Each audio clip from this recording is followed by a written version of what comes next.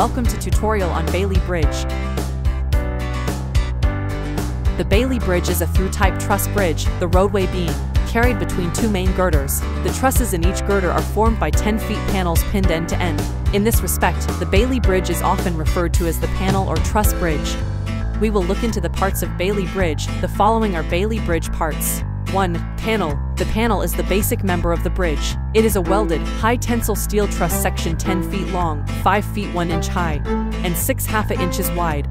2. Transom. The transom is a steel beam that supports the floor system of the bridge. It is 10 inches by 19 feet 11 inches long.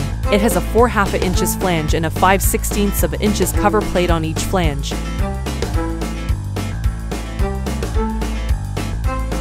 3. Transom clamp. The transom clamp is a hinge screw-in type clamp, 13 half inches high and 8 inches across the top. It clamps the transom to the vertical and bottom chord of the panel. It is tightened by a vise-handled screw.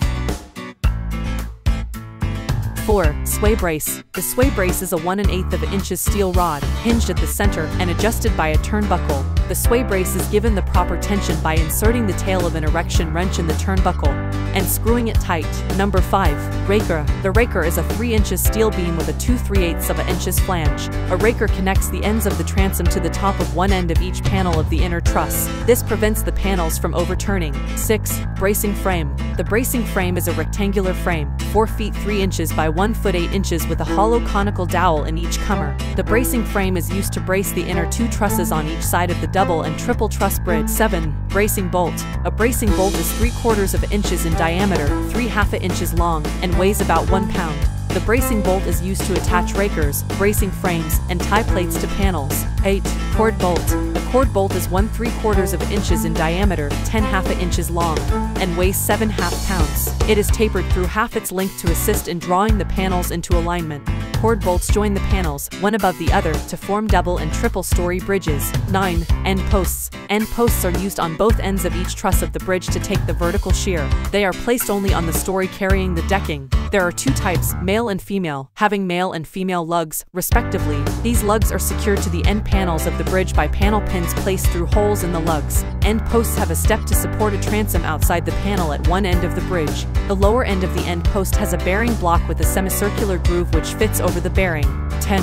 Bearings. The bearing spreads the load of the bridge to the base plate. A bearing is a welded steel assembly containing a round bar which, when the bridge is completed, supports the bearing blocks of the end posts. One bearing is used at each corner of a single truss bridge and two bearings per corner for a double or triple truss bridge. 11. Base plate. The base plate's a welded steel assembly with built-up sides and lifting hook eyes on the top at each corner. It is used under the bearings to spread the load from the bearings over the ground.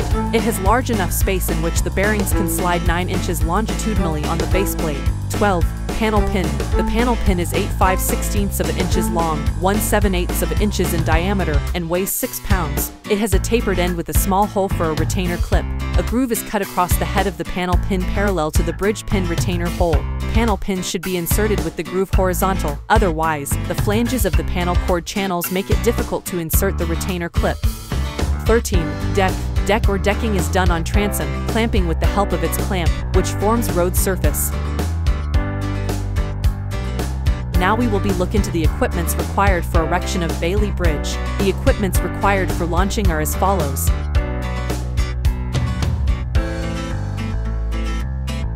1. Rocking roller. The rollers distribute the bridge load along the bottom chord during launching. The maximum allowable load on one rocking roller is 30 tons.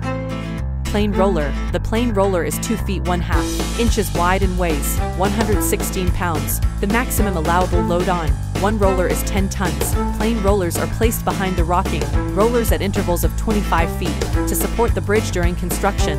The number of rollers in each row depends on the type of bridge. Jack. The jack is used to lift the bridge on and off the rocking rollers. It is a mechanical lifting jack. It has a lifting range of 15 inches and a capacity on the top of 15 tons. When the weight is carried on its toe, its capacity is only 7 half tons. Where jacks are lifting at the same point, all jacks used must have the same tooth pitch so they can be operated in unison. The jack weighs 128 pounds. Wrenches. The wrenches are used for tightening the clamps and the wrenches needed for launching in the bridge are as shown. Thank you for watching.